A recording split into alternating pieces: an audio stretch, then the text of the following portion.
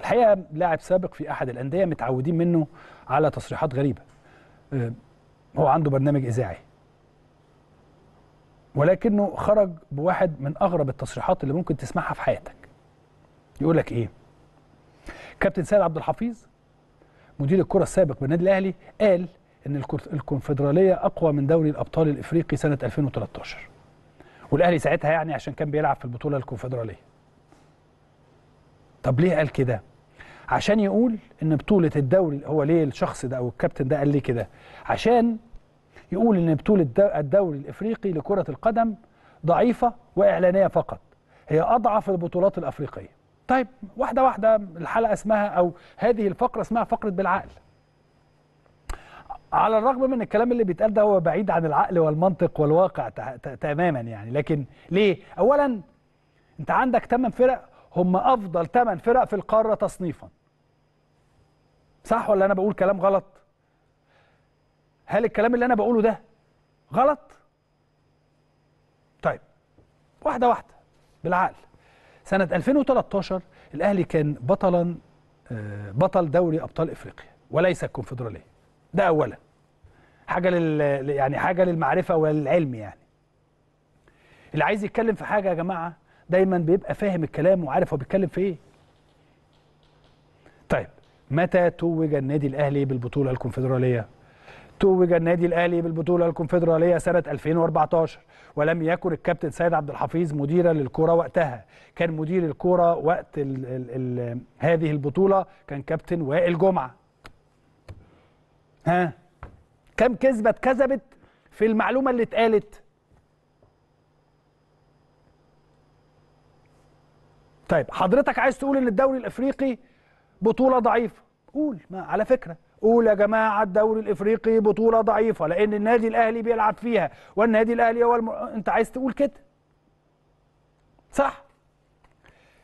هي الحاجات دي بتبقى على الهوا أو المزاج يعني. أنا بحس بكده لأنه لأنه بطولة بيشارك فيها أفضل 8 فرق في أفريقيا. هل دي بطولة ضعيفة؟ طيب لو النادي اللي بتشجعه بيشارك في هذه البطولة هتبقى قوية؟ ولا لا؟ طيب. أنا عارف ما هو لأن أنت مستبعد منها أو مش عارف توصل لها وليس لك حق المشاركة فهتقول إن هي ضعيفة. والكونفدرالية قدها 100 مرة ودوري الأبطال قدها 500 مرة. ولكن العيب إنك تستخف بعقول المستمعين والمشاهدين وتقول معلومات غير صحيحة وتصريحات من وحي الخيال. طيب دي نصيحة. هذا الكلام يقل منك ومن مصداقيتك. على فكرة التليفون هو مش معايا. التليفون ممكن تفتح التليفون وتكتب سنة 2000 وت- على جوجل. تكتب إيه؟ سنة 2013 هل استطاع النادي الأهلي أن يفوز بدوري أبطال بالبطولة الكونفدرالية؟ هيقول لك لا. الدوري النادي الأهلي فاز بالبطولة الكونفدرالية سنة 2014 طيب أدي أول معلومة غلط. المعلومه الثانية مع إنه سهل جدا جدا جدا ان انت تفتح وتشوف وتقرا. يعني اسمها إيه؟ اخد الكلام ده copy و paste واحطه قدامي اقراه. طيب. برضو على جوجل برضو ممكن تعمل كده. تكتب إيه؟ من كان مديرا للكرة سنة 2014 وقت فوز النادي الأهلي بالبطولة الكونفدرالية. هيكتب لك إيه؟ الكابتن وائل جمعة كان مديرا فنيا وليس الكابتن. هو مش هيكتب لك وليس الكابتن سيد عبد الحفيظ يعني.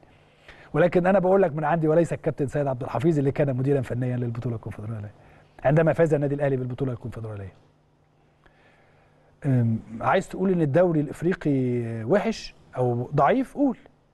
قول يا جماعة الدوري الإفريقي ضعيف وده أضعف بطولة على الرغم من إن هي. فيها أفضل 8 فرق على مستوى التصنيف ولكن هي بطولة ضعيفة. لكن زي ما قلت ما ينفعش تستخف بعقول المشاهدين والمستمعين. وتقول أي تصريحات من اي أي كلام في أي تصريحات.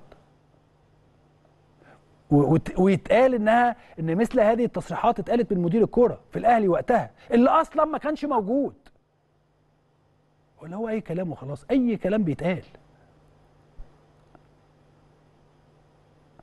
على رأي لو تفتكروا في فيلم الناظر الفنان, الكبير الراحل حسن حسني آه، بس على الله ما حدش ينخرب ورانا. وأي كلام بيتقال وناس وفي ناس بتصدق الحقيقة. لكن لو الكلام اتقال صح وحد فضل ورا مثل هؤلاء الأشخاص أو هؤلاء ال ال ال الإعلاميين والمذيعين هيحصل إيه؟ هتجد أن هناك أخطاء كثيرة جدا جدا بتحدث في هذا الأمر. إحنا ما عندناش ذاكرة السمكة بالمناسبة وعيب قوي إن يتم الترويج لكلام مغلوط من خلال من خلال برنامج إذاعي. ما ينفعش اللي بيحصل. ما ينفعش اللي بيحصل لأنه هو كلام غير صحيح. عارف لو الكلام مظبوط آه، هنسكت ونقول مثلا أو هنرد على الكلام أو كذا أو كذا ولكن هو كلام غير صحيح. معلومتين خاطئتين في نفس التوقيت. وفي نفس البرنامج محدش هيبص زي ما الراحل حسن حسني قال. على الله محدش يرخرب ورانا. هذا هو ال- الموضوع من الأول للآخر يعني. فنتمنى إن شاء الله إن كل الأمور الناس تاخد بالها. حتى يا جماعة والله العظيم ما فيش أسهل من إن أنت يبقى عندك جوجل على تليفونك. هتاخد منه كل حاجة وكل المعلومات. بتبقى غالبا غالبا 90% أو 99% منها هي معلومات صحيحة.